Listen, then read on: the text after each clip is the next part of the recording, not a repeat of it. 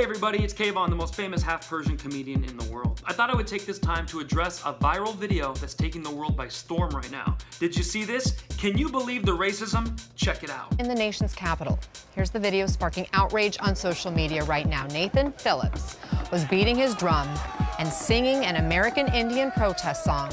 That's pretty bad, right? I mean, why would a kid stand right in front of a poor Native American man who's simply trying to play his drums? Well, Sadly, with a lot of these viral videos the media gives to us, that's not the whole story. These four gentlemen were speaking out in the public, which is allowed. Of course, they're in the Washington, D.C. Mall, overlooking the Lincoln Memorial and the Washington Memorial right there in the middle, and they are saying things including Before you started worshiping totem poles, you was worshiping the true living God. That's right. And this is the reason Indian means savage, brother. Uh-oh. That wasn't the white kids. That was uh, the black dudes directing that at the Native Americans. So now they've got the attention they wanted. The students are coming over now to see what is this commotion all about. And then the real racism begins. Don't don't stand to the side and mock. Bring y'all crack ass up here and make a and, and make a statement. You little dirty ass crackers, your day coming.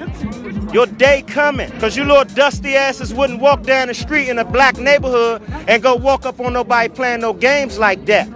Yeah, I will stick my foot in your little ass. And we can give a hell about your police. Being child molesters and getting away That's with right. it. You've been raping child children since 1492. That's right. in the Catholic That's right. And most of us can't Your, even vote. your president is a homosexual. Oh, oh no! Your college degrees was paid off of the bloodshed of slavery. Your houses, your your mortgages, everything your parents own.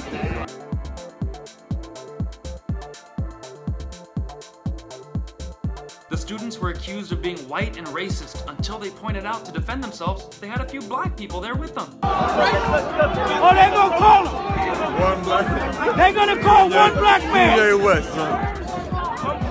Y'all got Where's y'all got one nigga in the crowd, huh? one in the crowd. One nigga, huh? Y'all got one nigga in the crowd. Oh, you got two niggas in the crowd. Get out. You ain't seen the movie? Why you being mean? Get out. That's right. A 16 year old kid died. They decided to do some of their school chants. Look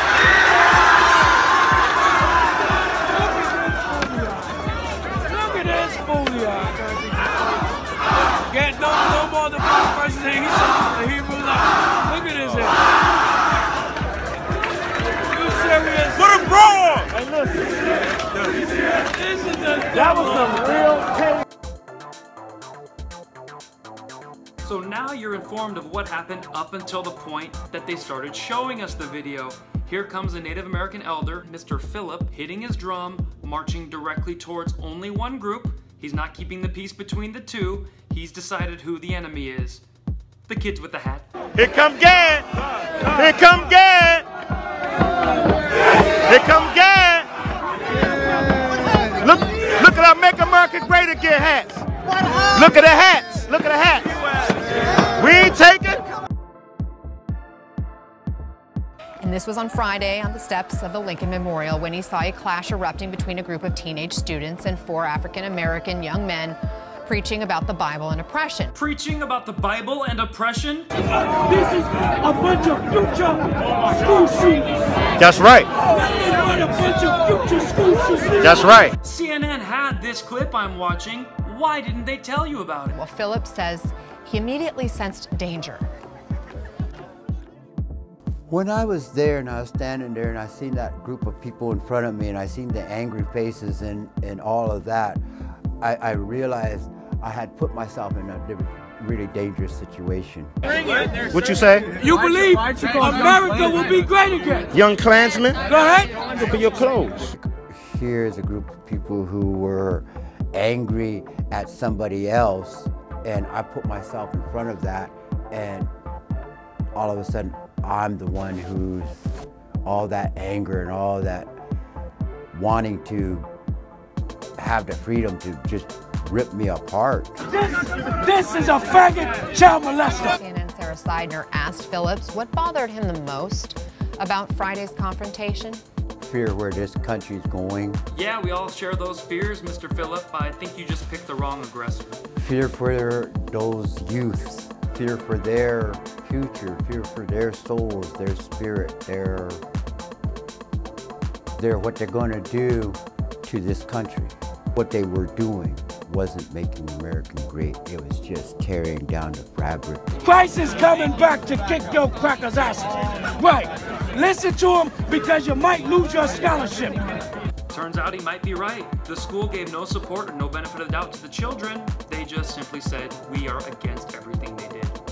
But you judge us by your penal code system. We don't judge you. You don't judge us by the law of God. How you don't? How you don't judge? You got judges, man. How you don't judge us? I'm a Vietnam Times veteran, and, and I know that mentality of there's enough of us. We can do this. Now, the media didn't tell you after the drumming incident, it continued going on for about another 45 minutes. This is what happened next. Newly elected Congresswoman Deb Haaland is among the first Native Americans elected to Congress, and she reacted on Twitter, writing, This veteran put his life on the line for our country. The students' display of blatant hate, disrespect, and intolerance is a signal of how common decency has decayed under this administration. We love you. Okay. We love you Okay.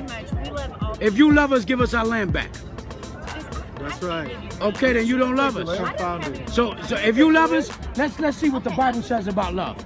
Let's see what if you truly love us. Let's go to the Word of God and prove it. Prove if you love us. Did she take your land? She, her. You are the descendants of your forefathers. You are you you we we are the descendants of slaves. And this is how it ended. They went home. Go home and understand America will burn. Ladies and gentlemen, that is how fake news works. You saw the sausage being made. Now, I don't have time to make one of these videos every single time this happens, so I need you to do your own research and always think before outrage. Check out my comedy tour dates.